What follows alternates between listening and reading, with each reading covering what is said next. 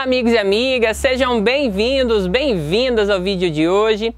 Neste vídeo, a gente vai abordar a pigmentação da raiz de nossa orquídea. Será que a pigmentação da meristema apical de nossa raiz, da raiz da orquídea, tem alguma coisa a ver com relação à cor da flor da nossa orquídea? Então, esse é o tema do vídeo de hoje. Eu convido vocês, se não são inscritos, se inscrevam no canal, ativem o sininho de notificações, curtam e compartilhem esse vídeo e outros vídeos aqui do canal que ajuda bastante no crescimento dos meus conteúdos e no crescimento do meu canal também, tá bom? Então eu espero que vocês gostem do vídeo, se ficar qualquer dúvida podem deixar nos comentários que eu estarei respondendo vocês, tá beleza?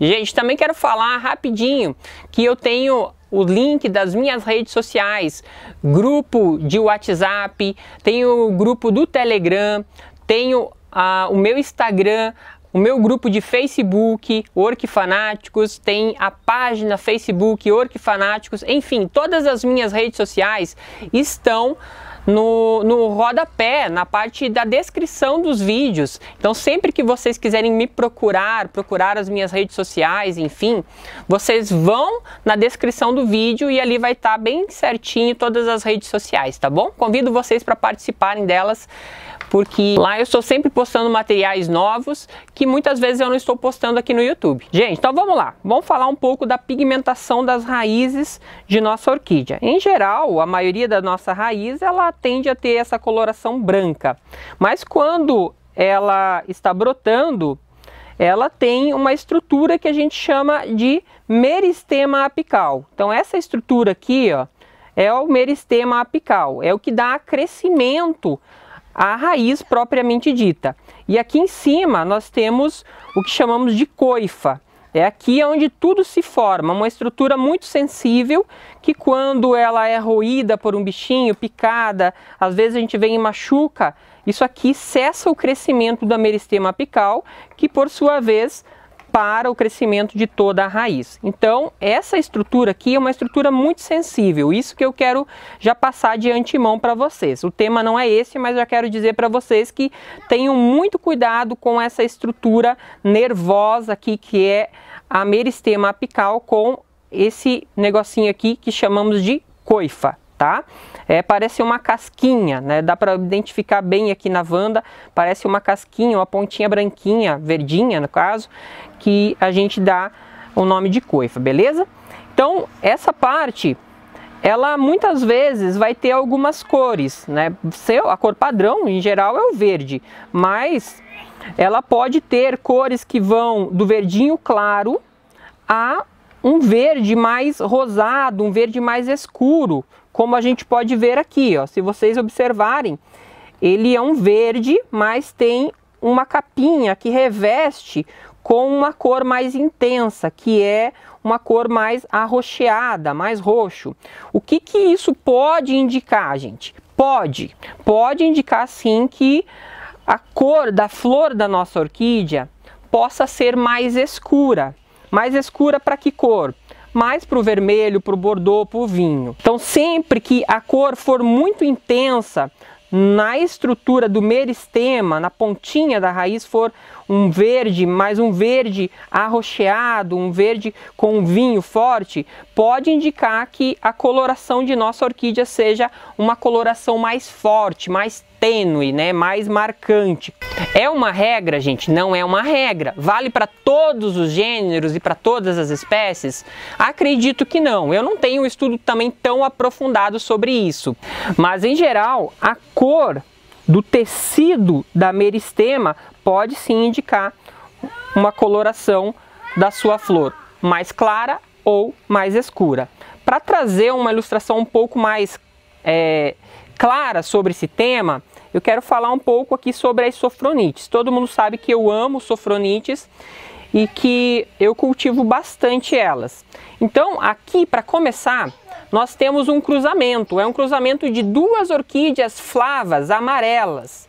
Para quem é, não sabe, a, a, cor amarela no grupo das sofronites é a cor alba. Né? Então seria equivalente, por exemplo, aqui a lodigese né, com a cor branca. Então, na, nas lodigese, a cor alba né? A, a, cor branca representa a cor albina. E aqui nas sofronites, em especial nas cernas, nas brevipenuculatas, nas coccínia, nas pigmeia, com exceção apenas da, vitigi, da vitigiana, a cor que representa o albinismo é a cor amarela. Então, quanto mais amarela, mais albina é a planta na prática, né? E aqui a gente pode ver que é um cruzamento de duas amarelas, porém o indicativo dessa planta é que ela não seja amarela. Mesmo elas sendo filhas de duas amarelas, a cor do velame, da pontinha da raiz da orquídea, saiu com um roxo bem forte, indicativo de que provavelmente esse vegetal não venha com a cor albina, com a cor clara da espécie. Por que isso, gente? Primeiro indicativo, a raiz. Então, outro indicativo que vai me ajudar a perceber se essa planta vai ser futuramente uma sofronite cerno amarela ou não, ou albina no caso, é as folhas. As folhas dessa planta aqui, podem observar que ela tem uma nervura central, e essa nervura central ela é arroxeada. Então dá para perceber que ela é pigmentada, as folhas aqui são pigmentadas também. Se a gente olhar aqui, se conseguir observar bem, ó, as nervuras centrais são todas pigmentadas com uma cor arroxeada, o que significa que provavelmente essa planta não seja alba. Claro que a gente tem que esperar ela florir para ter 100% de certeza, mas esse é um indicativo muito forte, muito forte mesmo dentro do grupo das sofronites. Eu vou trazer para mostrar para vocês aqui agora essa outra planta, também uma sofronite cernua. Essa daqui é uma cernua amarela, né? já dá para observar que o vegetal ele é bem mais pálido, ele nas nervuras aqui não tem pigmentação arroxeada, as folhas não tem manchinhas, pigmentos arroxeados, os bulbos também. E olha só a raiz. A raiz dela é um verdinho puxando para o amarelo, um verdinho bem claro, muito claro, isso com todas as raízes. Então essa planta, ela facilmente se identifica como amarela. Se ela tivesse na natureza e uma pessoa entendendo um pouco de vegetal, ela de longe ia conseguir perceber uma diferença entre essa planta com outras. Então, conseguiria identificar uma planta albina de uma planta não albina. No caso, como eu falei, das sofronites. Isso também é possível em outras espécies, como por exemplo nas valquerianas, nobiliors, também é possível você identificar uma planta albina pela pigmentação do vegetal ou das raízes. Então aqui, gente, tem uma sofronites tipo, a corzinha padrão dela é o vermelhinho claro ou laranja escuro, fica entre essas cores. E a gente pode ver aqui que na pontinha da meristema apical, e aqui também dá para observar, que tem pigmentos, filamentos avermelhados, o que vai indicar que esse vegetal também não é albo. E aqui a gente pode ver a nervura central da folha com um filamento mais escuro, mais para o roxo, digamos assim. Então ele também indica que, olha aqui, ó, isso aqui também é uma característica muito forte de plantas né, que serão ou escuras, né, ou tipo no caso, que vão ser na cor padrão da espécie ou uma cor mais forte, como por exemplo o rubro, né, a cor vermelha, bem escarlate, bem forte, pode ser um indicativo por essas manchas, por, essa, por esse vegetal. Também o vegetal muito escuro pode indicar uma coloração mais forte dentro do grupo, saindo fora do padrão, né, daquele que a gente chama de tipo, que é o mais comum, beleza? E para a gente basicamente finalizar esse, esse tema, eu queria mostrar então aqui o vegetal da lodigese, né? Vejam que esse vegetal da lodigese também é um vegetal bem pálido, não tem nervuras escuras, não tem filamentos arroxeados e o vegetal por si só pode revelar também uma característica de planta mais clara, uma cor mais clara, ou que nós chamamos de albo, como já, tá, já tem falado. E aqui a raiz confirma isso, veja só, é a raiz bem clarinha, indicando que o vegetal ele é realmente branco ou albo.